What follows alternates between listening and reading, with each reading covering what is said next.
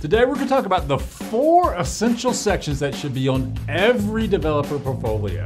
And then we're going to show you how do you use that as a sales tool to win that first software job. Today let's talk about something real important, which is portfolios. At Coder Foundry, we spend a great deal of time in building portfolios because we think they are the essential sales tool to getting that first software job. Now, you may be afraid to put your portfolio out there because other people have these kind of rock star portfolios. And so, what you do out of fear is you don't make one and you just try to trade on your resume. I want to break a myth for you right now. I do not believe that a resume, especially starting out, is strong enough to break you into that job. I think you must have a portfolio to do that. Now, if you're thinking, I don't have one or I don't know what to do, well, you're in the right place because we're going to tell you exactly what to put on that portfolio. Now, before we get started, let me tell you a little story about a, a guy that went to an interview um, and took his portfolio with him. He was interviewing for a job and he showed his portfolio during the interview process. And this is key. You must ask people to do it. And we'll talk about it a little bit more later, but you must ask people, hey, look at my portfolio. Well, he was brave enough to ask them to look at his portfolio and they looked at it and he demoed a project inside of that.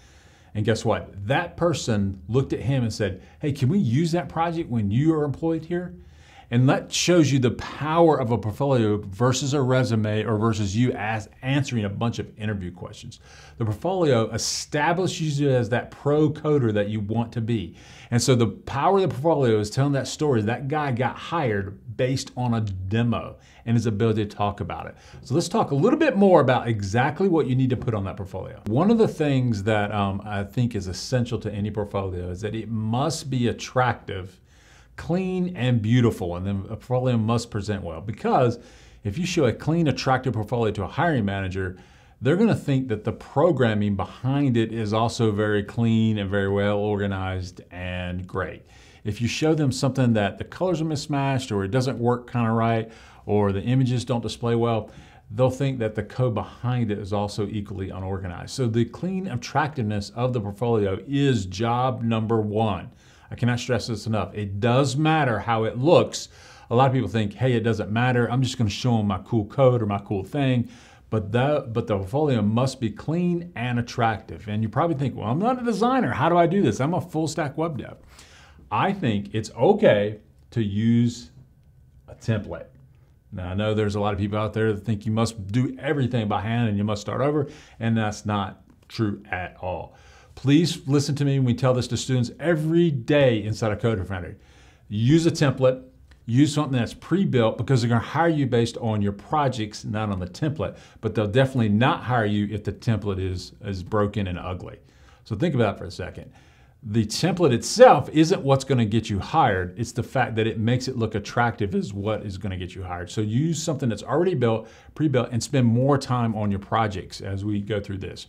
So use something like Bootstrap or something like that because it'll be well seen on mobile, tablet, desktop, and it'll be responsive. And so all of those things inside a template will be clean, professional, and beautiful. And that is job number one. That first step to winning that job is to making sure that you use some other template or something like that to make it look cool. Okay, so let's get into the weeds. Let's get very technical. I believe that if you're watching this, I'm gonna tell you exactly what to put on the portfolio exactly the sections. I think your portfolio consists of four sections. Now you can have more, but it needs to have these four.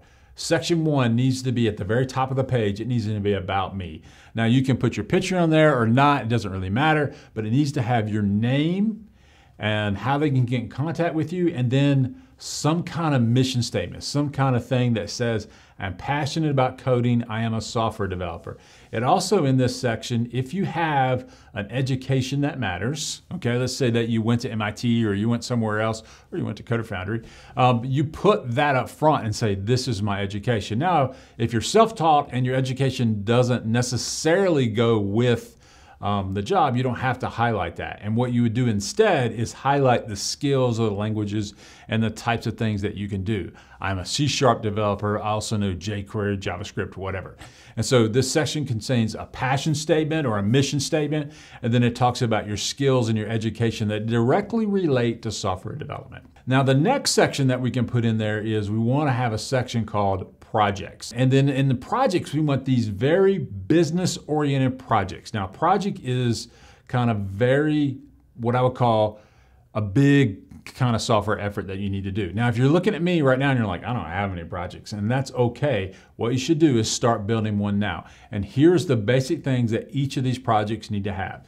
You need to be able to have a login screen, authorization and authentication, and it must support something like roles. It must utilize a database complete with like admin screens and perform a business function. Now, Coder Foundry, we build a blog, a bug tracker, and a financial portal. And those three projects together demonstrate your ability to solve different business domains, but also they're in domains that make sense to the hiring manager. Now, if your business project is in an obscure domain or it solves a problem that they're not familiar with, then they're trying to figure out what is the app supposed to do versus looking at it and saying, oh, that's really good. Todd McFarlane is a very famous comic artist, and they asked him, How do you break into the comic industry? You know, he wrote Spawn and those kind of things. And he said, Well, if you're applying to Marvel, you draw Spider Man. If you're applying to DC, you draw Batman. Because if they look at that Batman that you draw, they can judge to see if it's good or not. You don't present your custom character. And this is the same way with projects.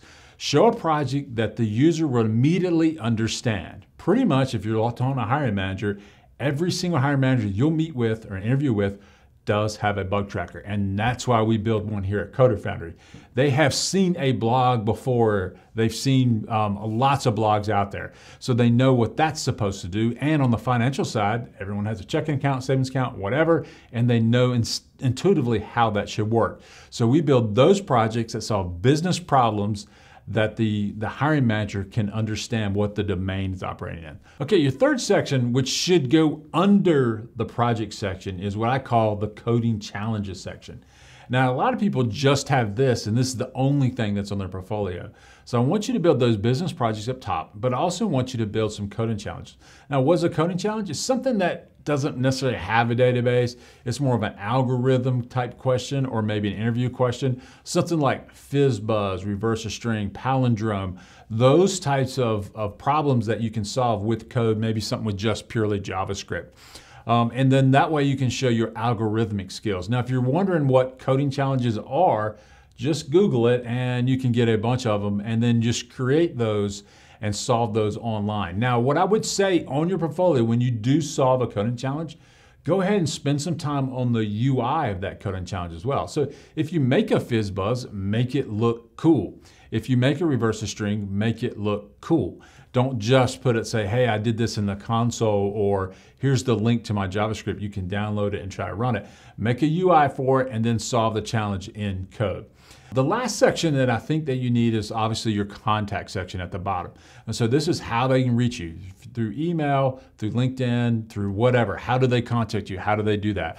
And so if you put all those on there and you put it at the top is about me, a project section, a coding section, and at the bottom, my contact section. So let's talk about one bonus section, some kind of extra credit if you want, if you want to say.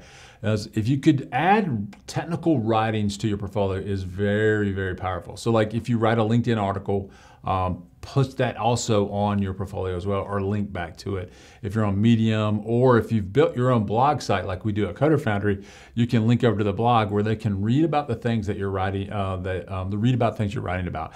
And these articles should not be whether you think Star Wars or Star Trek is good. It should talk about the internals of JavaScript or why you like C Sharp or this thing you discovered databases. Write about your journey as a software developer and the things that that interests you in the software world. It's not your opinion on this or that. It's more about the technical things that you can do so they can understand how you think and, and, and establish yourself as more of an expert than necessarily just a junior dev looking for a job. So that's that bonus section that you can add is write about technical things and show them on your portfolio. Okay, now that you've got the portfolio, it consists of the four sections, possibly the bonus section that we talked about, and you've got all your projects, your coding challenges, and everything you want to do. The next step for you isn't now you're past the construction phase. I want to give you one more tip. I want you to treat this portfolio as an absolute sales tool. If you are selling software, The portfolio is the product that you're selling so that you can get a job. That means that you must have all your projects must be able to be demoed, okay? And this is a software demo. And that means you have a script about what you want the hiring manager to see. You walk them through the login process or whatever it is that your project does, and you demo that to them. Now, here's what's cool. If you demo things, you do what we teach at Coding Foundry is take control of the interview. If they were going to ask you 50 C Sharp interview questions, say in a .NET interview, but then you show them a piece of software written in C Sharp, then guess what? They're going to ask you questions about the software that you've written. Second, if you bring your laptop with you, you may be able to even walk them through the code. So therefore, you've moved from answering questions from memory into showing them as a code walkthrough of your projects on your site. And that is very, very powerful. So build the build all the projects, the coding challenges, and the portfolio, make it look clean and attractive, and then practice your demo with someone in your sphere of influence. Maybe it's your husband, your wife, your mom, dad, brother, sister, or whatever, or just talk to your cat or find a rubber duck, whatever you want to do. Talk to them and work through that demo and then win that next job. So I hope this helps. Good luck and keep coding. Hey, if you're trying to win um, that first software job or you'd like to break into the software industry, at Coder Foundry, we will teach you how to build the portfolio we just talked about. Um, but if that interests you, I would like you to check this out, coderfoundry.com slash job roadmap. And we'll give you the five essential steps that you need to to break into that first job. We would love and be honored to be your coach, your mentor, and your teacher to get you that first software job. That's coderfoundry.com slash job roadmap.